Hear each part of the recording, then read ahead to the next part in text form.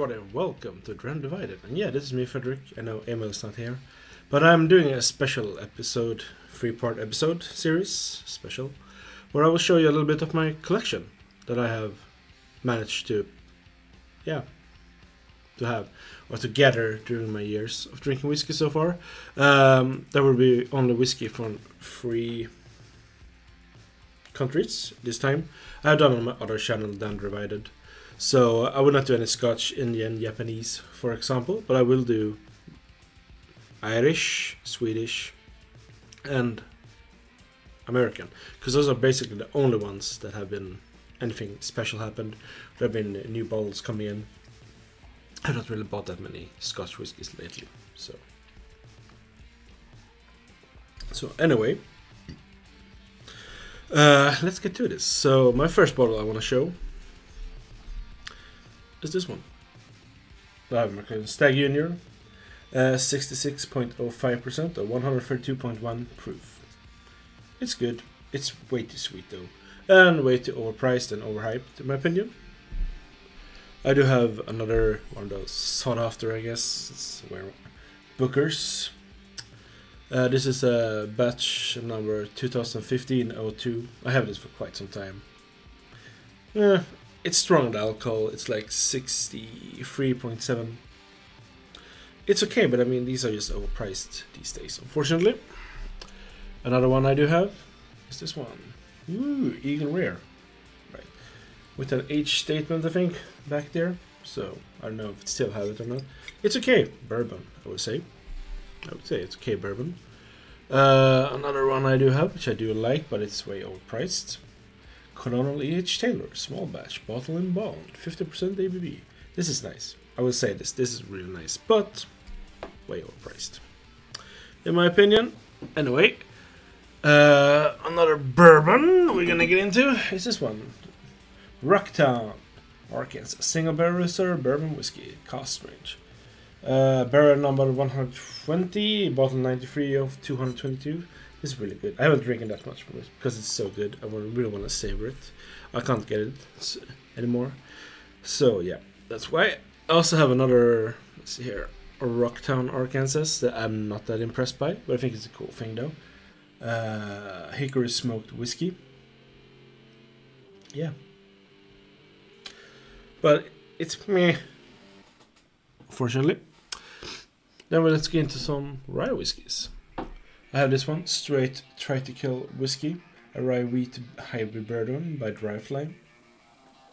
This is good. I haven't drank that much though, I do have to say. But it's nice. It's nice. 44% ABV. And uh, another rye that is super collectible, I guess. And very sought after, and some people pay way too much for it. I paid less than 50 euros for this one, because I found it a bargain. Pikesville, straight rye whiskey, 110 proof, or 55% ABV or something like that, I think. It's nice, but I mean, they're asking way too much for this, in my opinion, like most American whiskies, because they're not supposed to be expensive, they're supposed to be cheap, because they're made of cheap products, even though there are someone that's going to debate me on that. Hey, but anyway, now I'm just going to pause and I'm going to get into my other part of my American whiskey collection. So yeah, let's get into my favorite American whiskey brand so far. I have not tried everything. I'm not gonna get my hands on everything, but this is a brand or this I really like. And as you see, something there. Let's see. Let's see. Eh. That was there. Disappeared a little bit up there as well. so yeah, we're out without any, I guess, Balcones. So this is Balcones Dawn. It's a Madeira cask uh, finished Texas single malt. Fucking amazing. Just want to point that out. Fucking amazing. Uh, next one I have is a Texas Balcones uh, single malt finished in their own rum cask.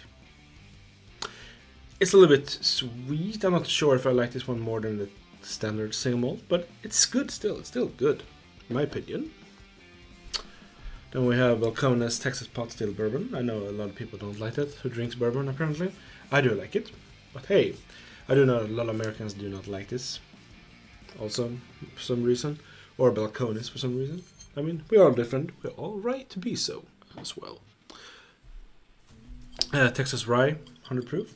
It's okay. I mean, I do like it. It's okay. Will I buy it again? Probably not, but still, I do like it. Um, let's see here. Baby Blue. Not my favorite, I would say, but still. If you want to try something different, maybe blue corn, definitely go. It is different. I just want to point that out. Um, here we have my only independent bottling of Balcones, and that is from the that Boutique E whiskey company, or as it says here, that Boutique E malt company, apparently. So this is um, two-year-old malt whiskey, matured in our rose casks, and they have some cool label there with some rock and roll Pantera style. Yeah, forty-seven point eight percent. This is batch two, no batch three. It's really good. Look at that color. It's really good. I say all is good. Uh, of course, a big favorite from Balcones. Balcones, Texas Single Malt, number one. Yeah, 3%. This is a classic, in my opinion. Highly good. Single Malt from America or Texas, in my opinion. Fucking amazing. Another one is uh, the True Blue cask strength. 65.7% ABV. It's okay, I do have to say I do prefer the standard True Blue in my opinion. But still, it's good. And of course, True Blue, the standard one. I love this. I think this is amazing, in my opinion. I think this is really good. I know some people don't like it, but hey, that's how we are. We're all different, and yeah. So, in the photo about American whiskeys, like I said before, I think they are getting too overpriced for what they are, in my opinion. Um, like most whiskeys from every country in the world, you might not get everything. I see a lot of YouTube channels with bourbon that have some really cool bourbons there, but we're not gonna get them, and neither are they because the bourbon craze is so crazy and maybe toxic. Who knows as well. It's like with Springbank or everything, you know, something gets released, everyone needs to get it, right? So, this is part one of part three. Next one will be Swedish whiskies. So stay tuned, people. Stay tuned. Okay, bye.